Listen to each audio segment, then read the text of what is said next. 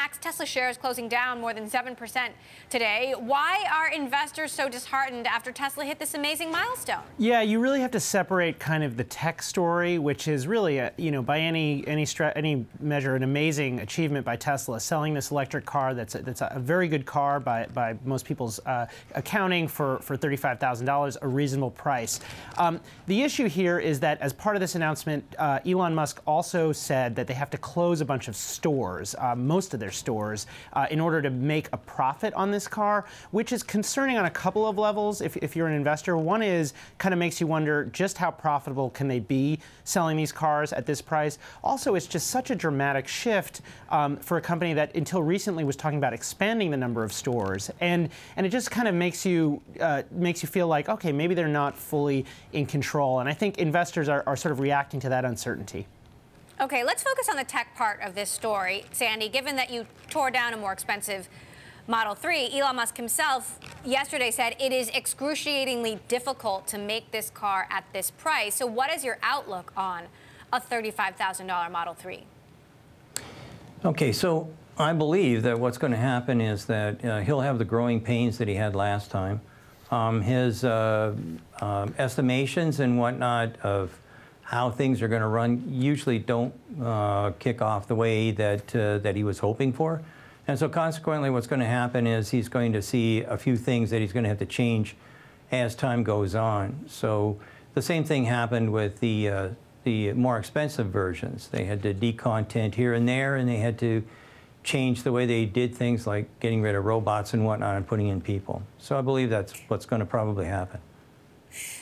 You know, let's talk a little bit about how Max Tesla is going to sell these cars now, closing the stores. On the, on the one hand, you could look at this as he's getting, you know, rid of a costly and perhaps wasteful part of the auto industry. On the other hand, this is very unconventional, and will people actually buy the cars online?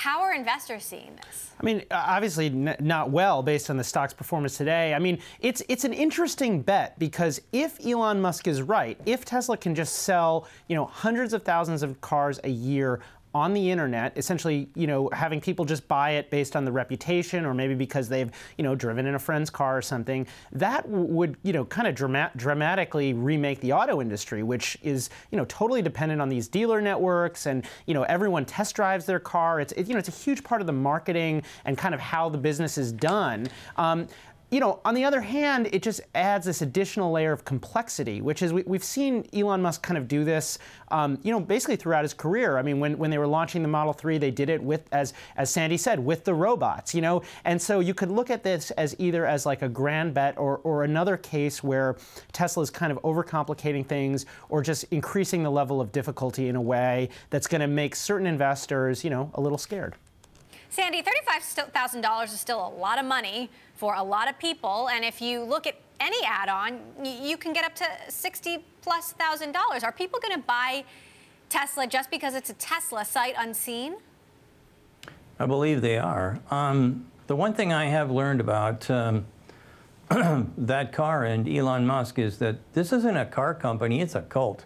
And, uh, and quite frankly, um, uh, Elon Musk attracts people uh, in a way that no one else. In fact, all you have to do is think, which, which car uh, executive uh, would anybody on the street know except for him? I mean, certainly, uh, certainly that he's got that going for him. And quite frankly, um, he's got hidden plans, just like, uh, just like he did when he turned the uh, seat heaters on in the back of the car or modified the braking um, uh, when Consumers Report gave him some, some static he's going to he's got pull he's going to pull some rabbits out of his sleeve. And I don't think anybody is going to buy a $35,000 car because they're going to want autopilot and a few other things that uh, that are extra charges. Um, I, we know that he can probably get down to that point, but he's left so many things inside the car, like like ADAS and whatnot, uh, and if you want it, all you have to do is phone up or whatever, and, or send him an email. He'll turn it back on, and, and you just pay your six to ten thousand dollars, and away you go. He's got a different, a totally different business plan. Indeed, he does, Max. So, what does that mean for demand and supply?